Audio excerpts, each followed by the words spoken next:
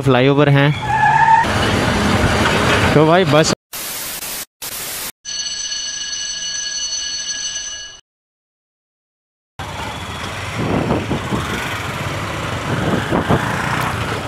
भाई निकल चुके हैं राइड पर।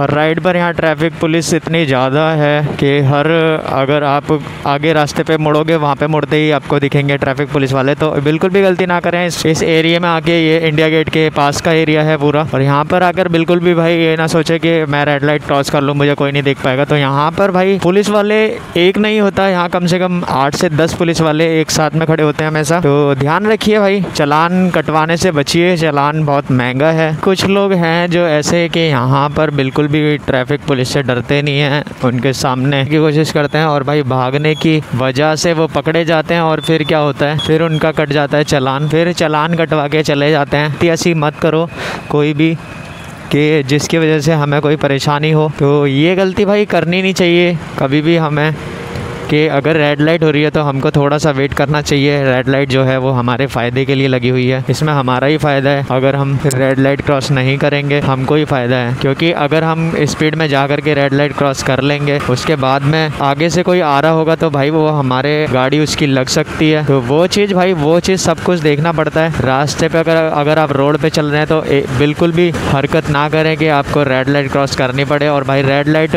कभी भी क्रॉस मत करो। थोड़ा सा वेट कर लो। रेड लाइट जो है वो हमारे फ़ायदे के लिए लगाई गई हैं। तो ध्यान रखिए भाई।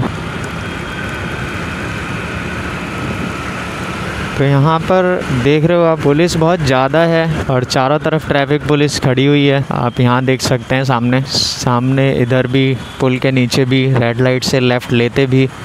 तो भाई, किधर भी जाओगे आपको ट्रैफ़िक पुलिस मिलने वाली है। तो जब भी भाई बाहर निकलें तो अपनी गाड़ी के कागज़ वगैरह सब कुछ अपने साथ रखें।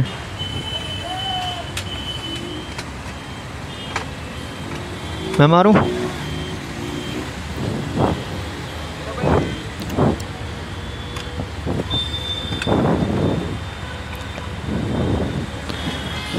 तो भाई स्टार्ट हो गई इनकी गाड़ी। काफ़ी देर से लग रहे थे। बंद हो गई फिर से? इसकी रेस को पकड़ के रखो।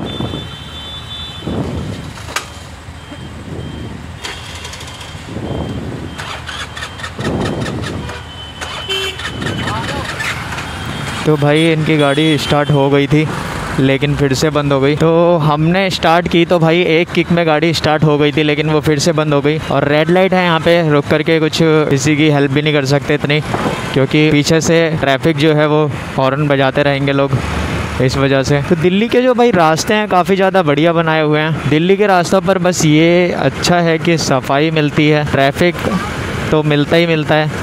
लेकिन ये अच्छी बात है कि सफ़ाई हमें हमेशा मिलती है दिल्ली के रास्तों पर। तो भाई, आज हमारा मूड करा था कि घूम लें थोड़ा सा तो घूमने के लिए निकल गए थे। और ये रास्ता आईएसबीटी जाता है तो आईएसबीटी की साइड हमें जाना है। तो यहाँ पर भाई, हर तरफ़ आपको बोर्ड मिलेंगे। ये मैं आपको काफ़ी वीडियो में पहले भी बता चुका हूँ। अगर आप दिल्ली में चल रहे हैं तो आपको ज़्यादातर बोर्ड दिखेंगे। तो बोर्डों को पढ़ पढ़ के अगर आपको नहीं पता है कोई लोकेशन तो आप बोर्डों को पढ़ पढ़ के आप आगे बढ़ सकते हैं। आगे जा सकते हैं।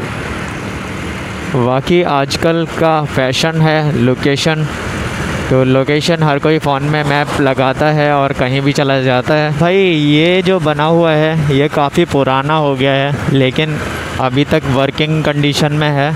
पूरा चालू रहता है, हमेशा चलता रहता है ये आपको देख रहे जो। और इसकी ऊंचाई काफ़ी ज़्यादा है और एकदम रोड के किनारे पे बना हुआ है ये। तो ये आउटर रिंग रोड है ये, जिस पे मैं चल रहा हूँ अभी। आउटर रिंग रोड है ये सारे। पूरा रास्ता यहाँ पर जो दिखेगा आपको पूरा खाली देखेगा। बस कश्मीरी गेट के पास जब पहुँचता है ये रास्ता तो वहाँ पर थोड़ा सा ट्रैफ़िक होता है। और बाकी ये पूरा रास्ता खाली मिलेगा। कुछ लोग मैंने देखा है कि हाईवे पर रास्ते पर गाड़ी चलाते हैं और उनको लाइनिंग का पता नहीं होता। किसी भी लाइन में चल चलते हैं, ये वाइट लाइन जो होती है, उसके बीच में चलते हैं, एक टायर इधर होता है, एक टायर उधर होता है। तो ये सब चीज़ें नहीं करनी चाहिए भाई। लाइन बनाई गई है वाइट लाइन है, फिर वाइट लाइन है, फिर वाइट लाइन है, फिर वाइट लाइन है। तो ये रास्ता जो है वन टू थ्री फोर चार वे का रास्ता है।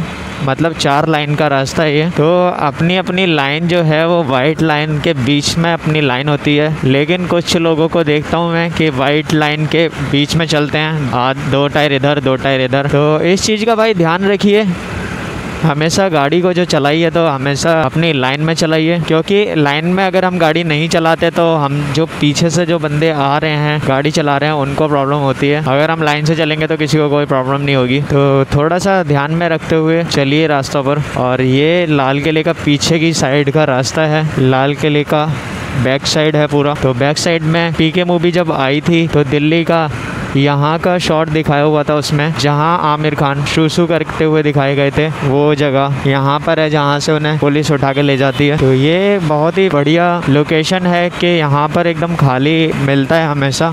कभी भी आते हैं तो। और बहुत बढ़िया साफ़ सफ़ाई रहती है यहाँ पे। और यहाँ पर हमारे लेफ़्ट हैंड साइड पे हनुमान मंदिर है, जो सबसे ज़्यादा मान्यता है दिल्ली में। हनुमान मंदिर ये है। तो यहाँ आगे चल के कश्मीरी गेट आने वाला है। थोड़ा सा दूर बचा है, कश्मीरी गेट आएगा फिर। तो एन एच हाईवे का वन नंबर है ये। हाईवे जो है नेशनल हाईवे वन तो नेशनल हाईवे के कुछ पार्ट्स बना रखे हैं। कुछ किलोमीटर पे सेकंड कुछ किलोमीटर पे फोर्थ कुछ किलोमीटर पे सिक्स तो इसी तरीके से हाईवे जो है पूरे भारत में फैला हुआ है। तो ये जो यूटन है, ये कश्मीरी गेट का यूटन है। अगर आपको शास्त्री पार्क से लाल किले जाना है तो आपको दो रास्ते से यू टर्न ले सकते हैं। यहाँ से अगर आप सीधा जाना चाहते हैं, आपको नेशनल हाईवे पकड़ना है शास्त्री पार्क की साइड से तो इस वाले पुल का यूज़ करना पड़ेगा। ये कश्मीरी गेट का जो फ्लाईओवर था, वो निकल गया पीछे। अब आगे हम जाएँगे तो आगे पड़ेगा। मजनू का टीला जो है, वो आगे पड़ेगा। सिग्नेचर ब्रिज जो है, वो यहाँ से सेवन किलोमीटर दूर है, सात किलोमीटर आगे है। तो लेकर चलेंगे हम सिग्नेचर ब्रिज पर भी। भाई एंबुलेंस को हमेशा रास्ता देना चाहिए। एंबुलेंस जब भी आती है, आपके पीछे होती है तो उसको ज़रूर साइड दीजिए। क्योंकि एमरजेंसी एंबुलेंस को बहुत ज़्यादा है। उसमें बंदे की जान खतरे में हो सकती है। तो कभी भी लाइटली मत लीजिए एंबुलेंस को। हमेशा रास्ता दीजिए भाई। तो मैं तो हमेशा ये चीज़ ध्यान रखता हूँ। कि एंबुलेंस फायर विकेट इन सबको रास्ता देना बहुत ज़्यादा ज़रूरी है, क्योंकि ये समय जो है वो किसी पर भी आ सकता है, इसका कोई वो नहीं है। तो भाई बहुत तेज़ स्पीड में निकल रहे हैं ये एंबुलेंस वाले भैया। तो भाई ढाई किलोमीटर बचा है सिर्फ़ सिग्नेचर ब्रिज हमारे ढाई किलोमीटर जब हम आगे चलेंगे तो सिग्नेचर ब्रिज आ जाएगा। सिग्नेचर ब्रिज जाने के लिए हमें राइट लेना पड़ेगा। जब हम राइट टर्न लेंगे तभी सिग्नेचर ब्रिज आ जाएगा। भाई ये वाला रास्ता है, अगर आपको भजनपुर यमुना बिहार गाजियाबाद जाना है तो आप इधर से जाइए अदरवाइज़ आपको पुराने वाले बजीराबाद वाले पुल पे जाना है तो आपको लेना पड़ेगा लेफ़्ट के बाद में आपको मिलने वाला है पुराना वाला बजीराबाद का पुल। तो ये जो है वो न्यू सिग्नेचर ब्रिज है जिससे हम जा रहे हैं। और ब्रिज के भाई, मैं बता दूँ आपको ब्रिज के पास ये जो फ्लाईओवर हैं।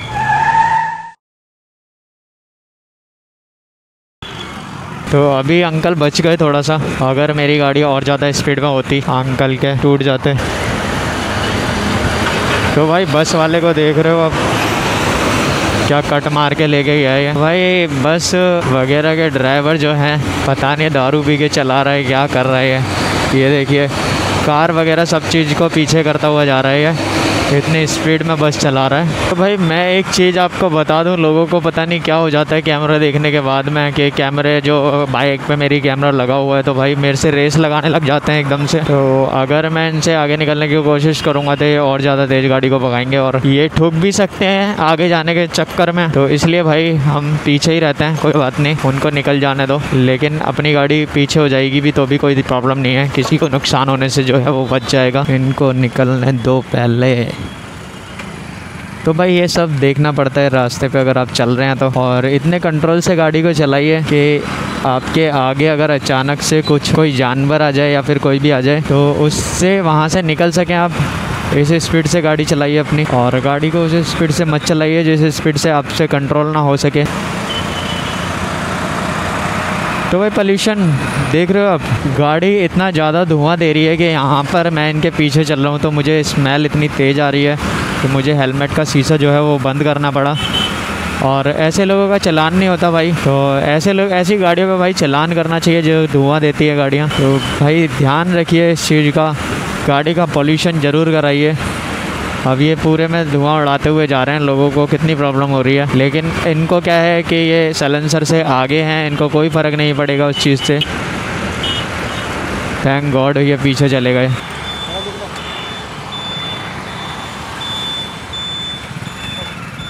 मिलते हैं संडे को दोबारा।